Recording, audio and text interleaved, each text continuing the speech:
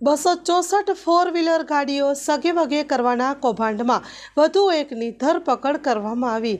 ત્યારે આ ગુનામાં અગાઉ આઠ આરોપીઓને પોલીસે પકડી પાડી બસો ચોપન ગાડીઓ છ કરોડની કબજે કરી હતી. ઇકોસેલના પીએસઆઈ સાગર પ્રધાને સ્ટાફ સાથે કામરેજ ટર્નિંગ પાસે પાનના ગલ્લા પર વોચમાં ગોઠવાઈ ગયા હતા.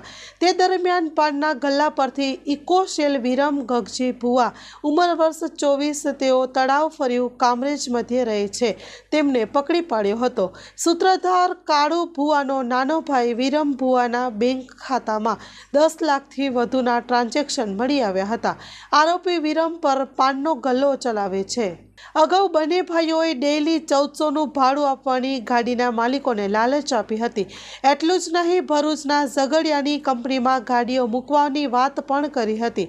ટોળકીની માયાજાળમાં બસો ચોસઠ ગાડીઓના માલિકોને ઓરિજિનલ કાગળો બંને ભાઈઓએ આપ્યા હતા. અગાઉ પોલીસે બસો ચોપન ગાડીઓ તેના માલિકોને સુપરત કરી દીધી હતી. આ ઉપરાંત દસ ગાડીઓનો હજુ પત્તો મળ્યો નથી.